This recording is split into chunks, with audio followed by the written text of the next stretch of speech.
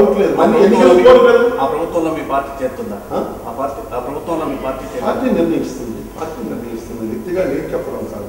Party నిర్ణయిస్తుంది. ఈఎఫ్లో చేరాను ఎన్డీఏలో చేరలేదు. యునైటెడ్ ఫ్రంట్లో చేరాం.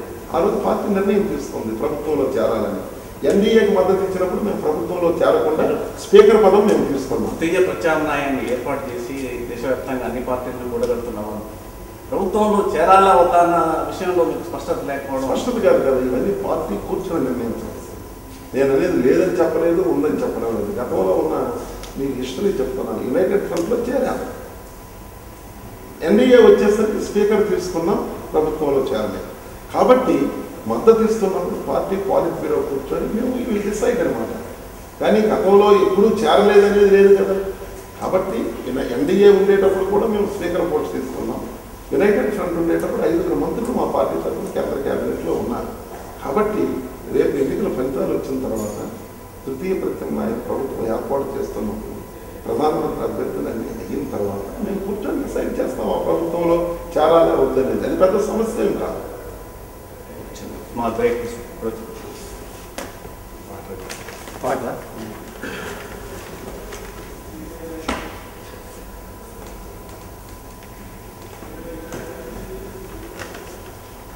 వీళ్ళు వచ్చారు చూడు మన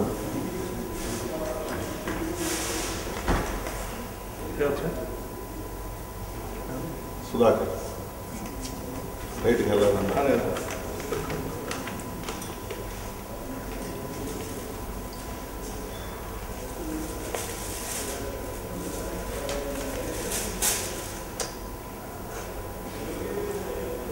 రెడీ రైట్.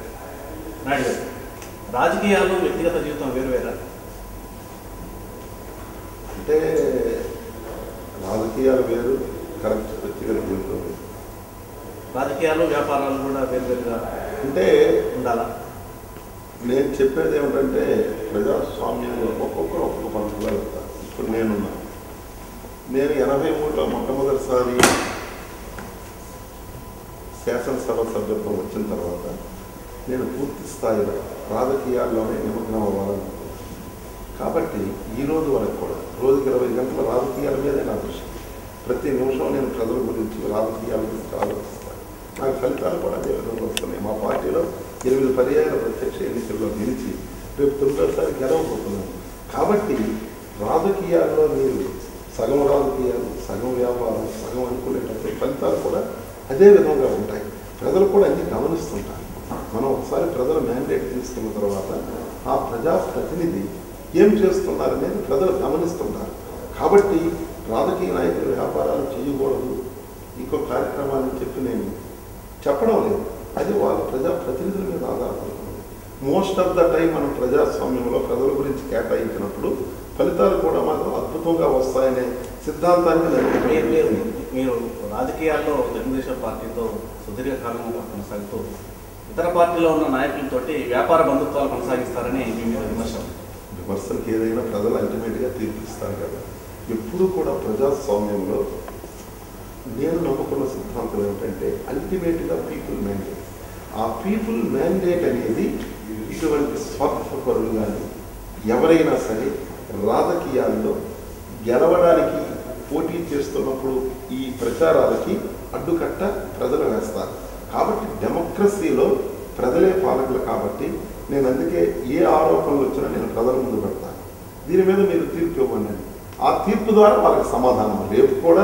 నాయుడు గారు ఉత్తరాంధ్రలో తెలుగుదేశానికి ఒక పెద్ద దిక్కు లాంటి మీరు పార్టీని ఇటువంటి తుఫాన్లు వచ్చినప్పుడు నిలబెట్టడంలో ఎందుకు విఫలమవుతున్నారు నేను నిలబెట్టడంలో కాదు తెలుగుదేశం పార్టీ శ్రీకాకుళం జిల్లాలో రెండు వేల నాలుగు ఎన్నికల్లో రాష్ట్రంలో సునామీ వచ్చిన తెలుగుదేశం పార్టీ రెండు ఎంపీ స్థానాలు గెలుచుకుంది. ఐదు ఎమ్మెల్యే స్థానాలు గెలుచుకున్నాం. మళ్ళీ అనంతపురంలోనే ఐదు వచ్చాయి. ఈ రాష్ట్రంలో ఇరవై మూడు జిల్లాల్లో తీసుకుంటే గెలిచినటువంటి నలభై ఆరు అసెంబ్లీ స్థానాలు ఉత్తరాంధ్రలో మీరు గెలవడానికి మీరు ఇతర పార్టీల అభ్యర్థులతోటి ఆ, పనిన వ్యూహం కారణం ఎప్పుడు కూడా ఓడిపోయే వాళ్ళు ఏమంటారంటే ఆడలేక మధ్యలో ఓడుంటారు. ఓడిపోయేవాడు ఓటమిని అంగీకరించలేని వాళ్ళు ఆడుకున్నటువంటి మాటలు. ఎప్పుడు కూడా ప్రజాస్వామ్యంలో ఓటమిని కూడా అంగీకరించే ధైర్య సాహసాలు ఉండాలి. ఓటమి ఎందుకు చెందామని చెప్తే ఓటమి నుంచి గుణపాఠాలు నేర్చుకొని విజయానికి సోపానాలు వేయాలి నా- నాయుడు గారు నాయుడు గారు ఎప్పుడు తనను నిలబెట్టుకుంటారు కానీ పార్టీని నిలబెట్టరు. అందుకే తను గెలుస్తూ ఉంటారు పార్టీ వాళ్ళు మీద వాళ్ళు ఓడిపోతుంటారు మా జిల్లాలో పంతొమ్మిది వందల యాభై మూడు నుంచి తెలుగుదేశం పార్టీ సింహభాగాన్ని ఉంది అగ్రభాగాన్ని ఐదే ఎంపీలు గెలిచాం. రాష్ట్రంలో ఐదు ఎంపీలు గెలిస్తే శ్రీకాకుళం నుంచి ఇద్దరు పైడితల్లి నాయుడు నేను. ఇంకెంతకంటే పార్టీ అద్వితీయమైన పెర్ఫార్మెన్స్ ఎక్కడ చేయాలి? ఓకే శ్రీకాకుళం గురించి మాట్లాడేటప్పుడు ఇరవై మూడు జిల్లాల్లో ఒక్క సీటు కూడా గెలవకుండా ఉన్నటువంటి జిల్లాలు ఉన్నాయి. మా జిల్లాలో రెండు ఎంపీలు. ఐదుగురు ఎమ్మెల్యేలు గెలిచినప్పుడు పార్టీ పటిష్టంగా ఉంది. మేము నాయకులందరం సమిష్టిగా పార్టీని ఆ స్థాయిలోకి తీసుకెళ్ళాము కాబట్టి మా ఫలితాలు వచ్చాయి. మీరు అభ్యర్థుల ఎంపిక విషయంలో కూడా మీరు మీ మనుషుల్ని కొత్తగా పార్టీలోకి వచ్చిన వాళ్ళని రియల్ ఎస్టేట్లో ఉన్న వాళ్ళని ఆ, టికెట్లు ఇప్పించారని ఆ కారణం కూడా పార్టీకి నష్టం జరిగిందని. టికెట్ల అనేది పార్టీ ఇస్తుంది. చంద్రబాబు నాయుడు గారు ఎన్నో రకాల సర్వేలు చేసి అందరూ సమిష్టిగా పార్టీ నిర్ణయించారు రాష్ట్రం అంతటా పార్టీ ఇస్తుంది కానీ శ్రీకాకుళంలో మాత్రం నాయుడు గారు ఎందుకంటే శ్రీకాకుళంలో మనం ఎనిమిది సార్లు గెలిచాం.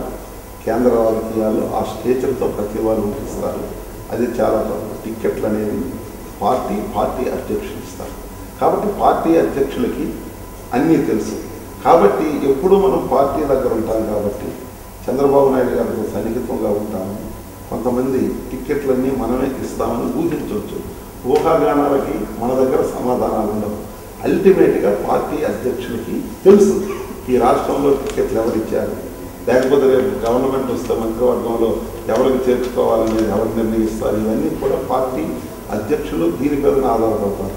కాబట్టి ప్రముఖంగా ఉన్నటువంటి వ్యక్తులు సీనియర్ నాయకుల మీద ఇటువంటి ఆరోపణలు రావడం సహజం. కాబట్టి ఈ ఆరోపణలు ఎంతవరకు వాస్తవం ఏమిటనేది పార్టీ అధ్యక్షులకి తెలుస్తుంది కాబట్టి సత్యం ఏమిటో తెలుస్తుంది కాబట్టి దీని గురించి మనం పెద్ద ఆలోచించవలసిన అవసరం లేదు. ఇటువంటి చిన్న చిన్న ఆరోపణలు వచ్చినా సరే మనం దీన్ని పెద్ద పట్టించుకోవాల్సినటువంటి అవసరం కూడా లేదు. ఎందుకంటే పార్టీ అధ్యక్షులకు వాస్తవాలు తెలిసినప్పుడు ఇవన్నీ కూడా పెద్ద మనం లెక్క చేయవలసిన అవసరం. పాలిటిక్స్లో మీరు బాగా ఇష్టపడేవాళ్ళు ఎవరు? నాయుడు గారు.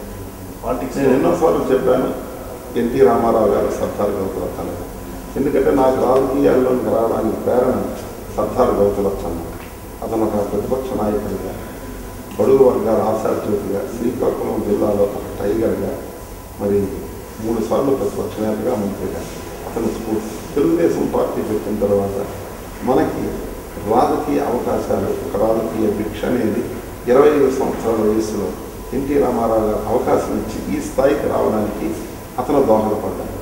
ఈరోజు మన తాలూకా సమర్థత కానీ ఇంకొకటి కానీ చేసి మనకు అన్ని అవకాశాలు చంద్రబాబు నాయుడు గారు కల్పిస్తున్నారు. అందుకే నేను ఎప్పుడూ చెప్తాను. స్ఫూర్తి సర్దార్ గౌతలు వచ్చింది ఎన్టీ రామారావు గారు రాజకీయ రంగ ప్రవేశానికి అవకాశం కాబట్టి వాళ్ళిద్దరికీ నేను బాగా ఇష్టం థ్యాంక్ యూ నాయుడు గారు ఓకే